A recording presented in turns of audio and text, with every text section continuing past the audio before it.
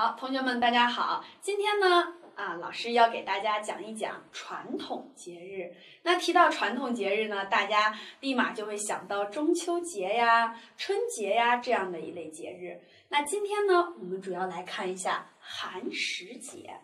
啊，那首先呢，我们先来了解一下文章的一个学习目标。啊，说第一，会写本课的生字。第二，正确流利的朗读古诗并背诵古诗。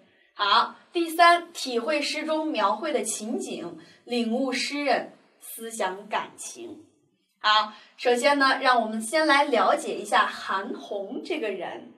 那说韩翃呢，他字君平，南阳人，唐代诗人。那说到这个字呀，同学们。古代的人呀，他普遍都会有字啊，或者是号。那字是以供别人来称呼他的。那韩翃他的字就叫君平，韩君平啊，是我们现在河南南阳啊，以前也是南阳啊，名字没有变。唐代诗人。接下来看第二个，说大历十才子之一，诗笔法轻巧。写景别致，在当时传颂的很广泛。他的主要作品有《韩君平诗集》。好，那接下来让我们了解一下寒食节。那寒食节曾经啊，这个诗人卢象说过：“说四海同寒食，千秋为一人。”这一人说的是谁呢？其实呀，就是啊，歌鼓奉君的介。推啊，说在春秋时期啊，啊说，呃，公子小白啊，就是重耳，他在流亡期间，哎，带着这个谁呢？啊，介之推啊，当然也有人说他叫介子推，介之推都可以啊。说带着这个介子推，然后一起流亡。那他们流亡到一个山上。那个山上呢是没有东西可以吃，哎，大家都快要饿死、奄奄一息的时候，这个介子推于是就割了自己腿上的一块肉，哎，然后给了他的啊老板吃，哎，他的老板就是谁啊？重耳，是不是？然后呢，后来这个重耳他度过了这一劫，回到了晋国，并且呢，啊。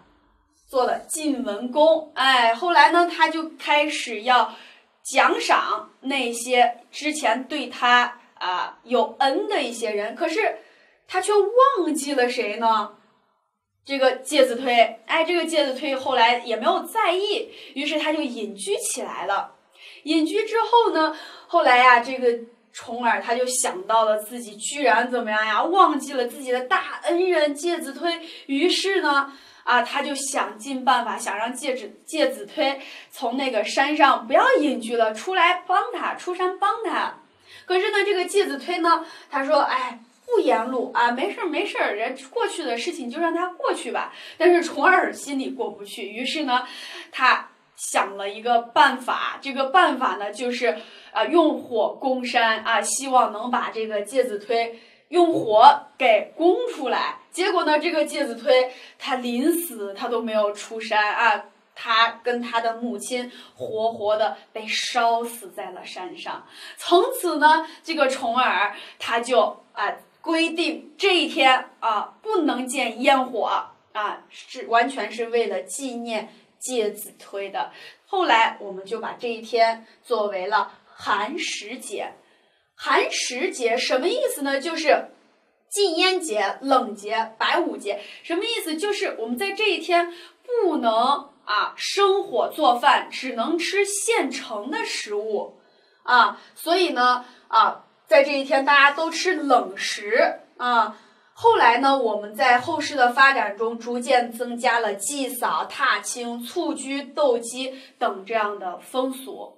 那其实寒食节也是在清明节的前一天，因此离得特别近，所以我们现代人就把两个节日合并为一了。好，那这就是寒食节的由来。那接下来我们来看一下啊，在本课需要大家会写的几个字。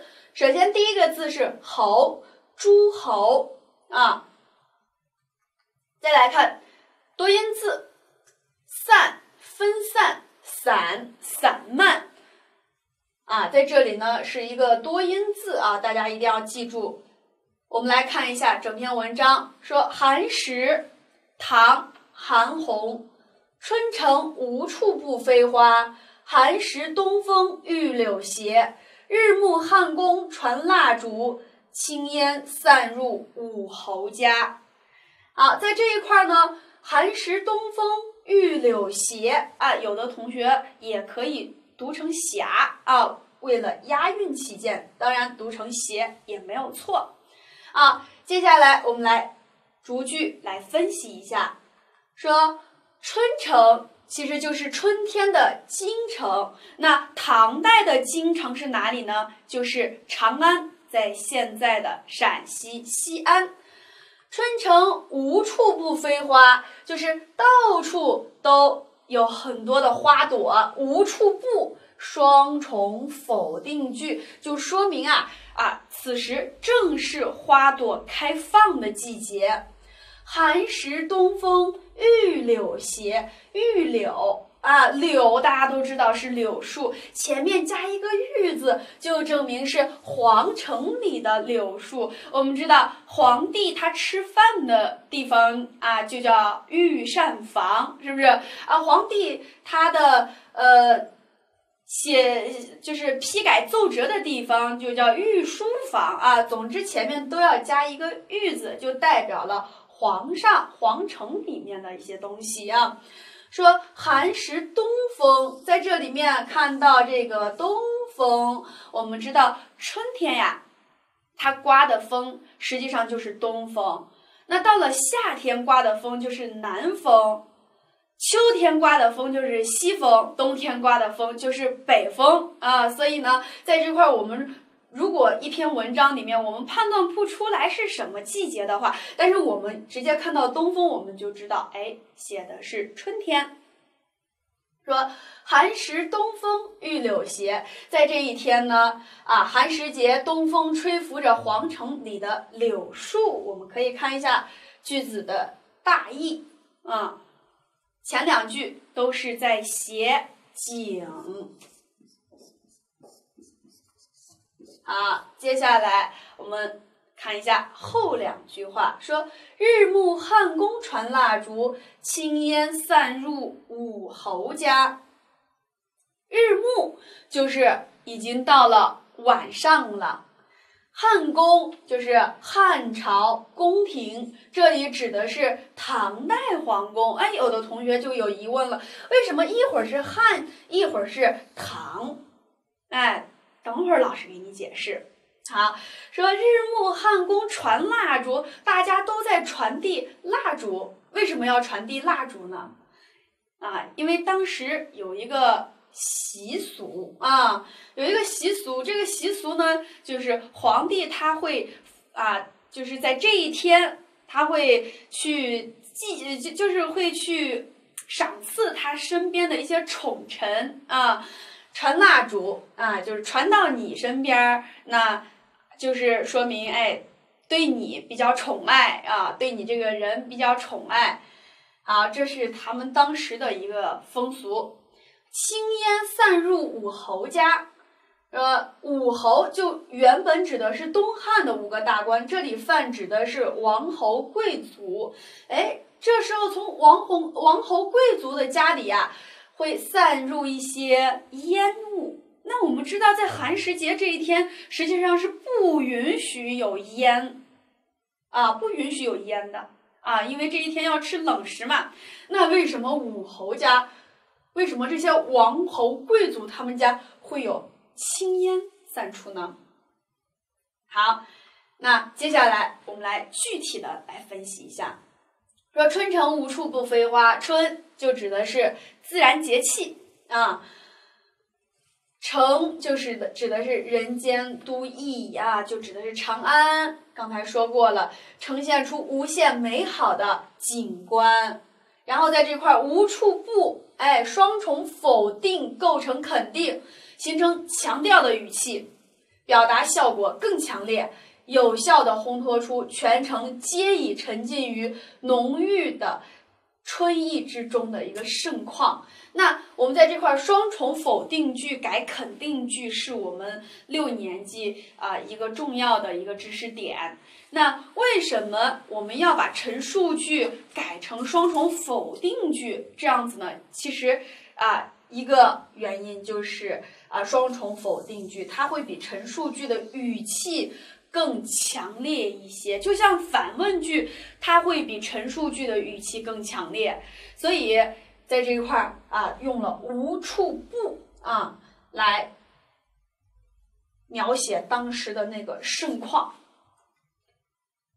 好，飞无不飞话，飞就是一个动词啊，动态描写表现了春天的勃勃生机，说明了诗人在描写时，啊，描写时序时措辞非常的严谨啊，用的飞华。啊，如果我我们把这个“飞”字改成“落”字，是不是就没有这种感觉了？啊，好，接下来再看第二句，说“寒食东风御柳斜”，将节令与宫廷景物与皇恩连结为一体。啊，这里就说到了当时寒食日有折柳啊插枝门，折柳枝插门的一个习俗。同时，清明这天，皇帝还要降旨取榆柳之火，赏赐近臣，以示恩宠。所以，诗人在《无限春光》中特地捡取了随东风漂浮的玉柳，啊，啊，这是皇帝他送给他的宠臣的东西啊。好，再看这一句话。啊，说描写长安暮色暮春的一个景色。那暮春在这一块儿，我们知道，其实春天呢，它分成了三个时间段。首先就是呃初春啊，然后是仲春，仲春这个这个种，也就是春天正盛的时候。紧接着就是暮春，暮春就是春天已经要结束，然后那个花啊什么的它都要落了啊。暮春，好，接下来我们看后两句，说日暮汉宫传蜡烛，日暮交代了时间，更有转折之意啊。接下来引出了事实，说啊。寒食节，普天之下一律禁火，可皇宫例外。除了皇宫，皇戚宠臣也可得到这份恩典。所以在这块儿，大家看出来了没有？里面有一点点的讽刺之意啊！作者他在讽刺这些王公贵族啊，这就是很明显的，只许州官。放火不许百姓点灯的一个意思啊。好，这个传啊用的是动词，不但写出了动态，而且意味着挨个儿赐予，可见封建等级次第之森严啊。好，接下来说青烟散入武侯家，青烟散入，我们可以看到展现出来的一幅宫中走马传烛图。啊，使人如见蜡烛之光，如闻青烟之味，如听马蹄之声，并体会到了更多的言外之意。家家进火，而独有汉宫传烛。那在这一块，武侯讲的就是优先享受特权的王公贵族。所以在这块说，中唐以后宦官专权的政治弊端。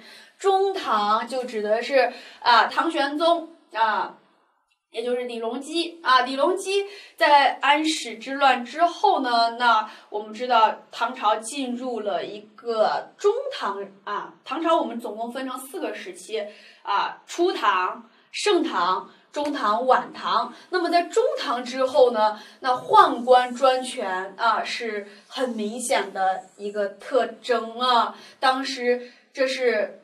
非常扰乱当时的一个政治的，所以在作者在这块其实他是含有讽刺之意的。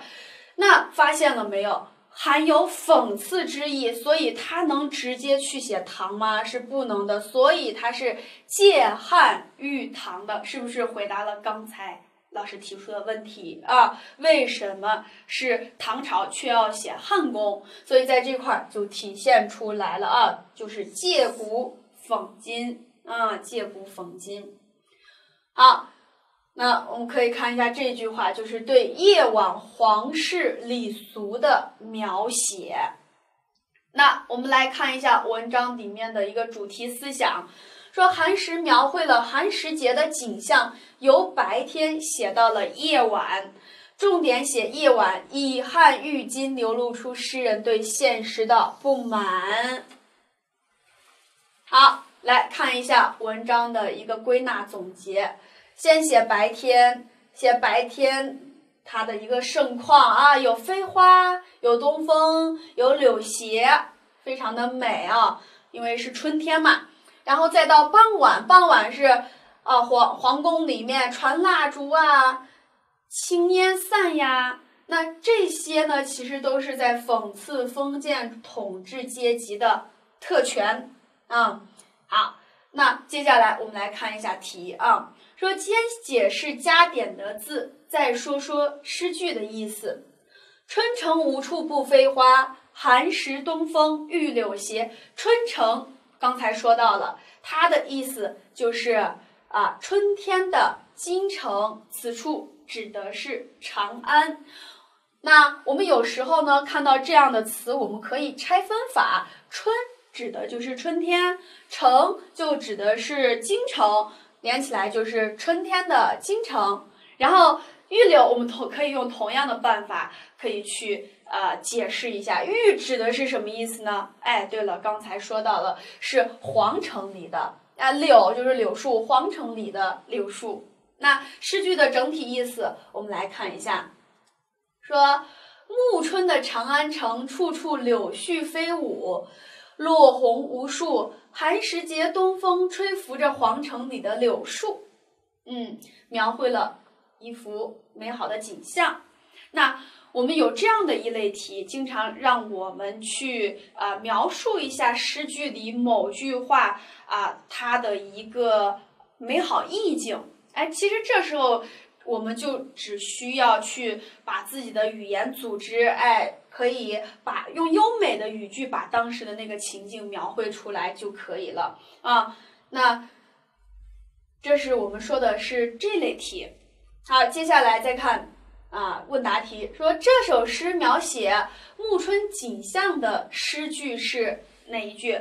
哎，我们知道描写景的就是前两句啊，讽刺的。啊，描写夜晚的景象，讽刺那些王侯贵族的，就是后两句啊。所以在这一块儿啊，先是“春城无处不飞花，寒食东风御柳斜”，接下来就是“日暮汉宫传蜡烛，青烟散入武侯家”。再看第二题，这首诗表面上写的是汉宫，哎，对，汉代。实际上写的是唐代，流露出作者对现实的不满。好，那今天我们这首诗就讲到这里，谢谢大家。